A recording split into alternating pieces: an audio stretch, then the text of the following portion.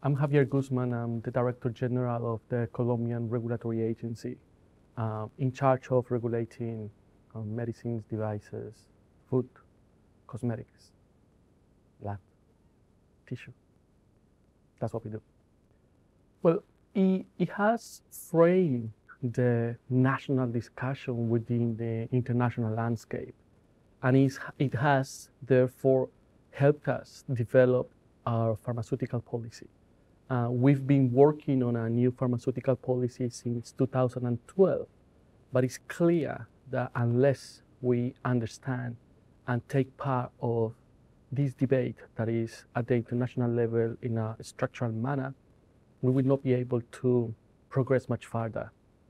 It has also um, encouraged us to have international conversations within the government because it's clear that within governments uh, you do have different opinions and positions on this issue.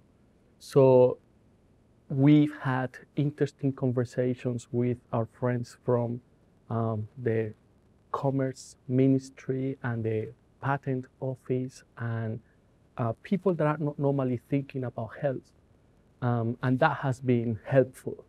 Um, and, and finally, well, it has been interesting to see how uh, what we have experienced in Colombia uh, well, has also been um, experienced in other countries and, and how uh, the United Nations could actually take part in a situation that um, is very much, um, well, very close to uh, every single government because of the importance of the health of our population. Well, the first thing is we, we, we had a, national panel a few weeks ago, but um, as I said before, uh, it has encouraged us to have conversations within government. And, and there are a few things that we are finding common ground on. And, and the common ground is, for instance, um, how the interministerial um, commission dealing with intellectual property should discuss these issues, should take into account these issues. It's not a, a commission um, that should be devoted to protect intellectual property or the rights of inventors. Uh, it's a commission that should take intellectual property uh, holistically, understanding the impact on public health. So that commission has been set up for a few years, but it's, it's a new opportunity to have a different discussion within the commission. Um, it has also been very important to at least um, have a frank open discussion with people within government about issues that we are not very much aligned on, um, like the use of the TRIPS flexibilities, for instance. Um, at least it's important to understand um, why and how we can actually have a much um, productive discussions on the way forward.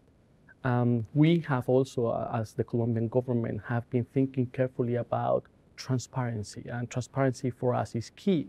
So we have been working on uh, disclosing uh, prices in Colombia, disclosing as much as we can the results of the clinical trials that have taken place in Colombia.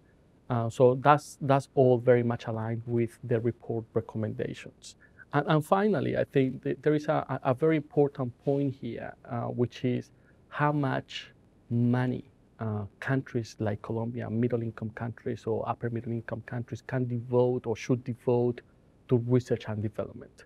Uh, we have a very low level of investment uh, on these issues, uh, and it's clear that this is a global responsibility. The, the, the key question is um, whether it is feasible for countries like us or desirable for countries like us to invest more in research and development. And, and that is a discussion that we are currently taking place.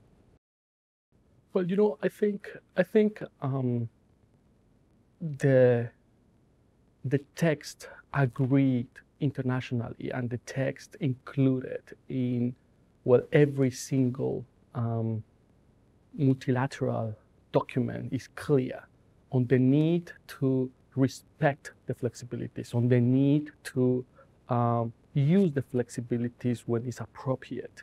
But this is all, uh, you know, beautiful on paper. But we have experienced clearly that this doesn't take place in reality. And it's very encouraging to see how the, the, the high level panel is asking governments and is asking the, the United Nations to clearly uh, take action on these matters.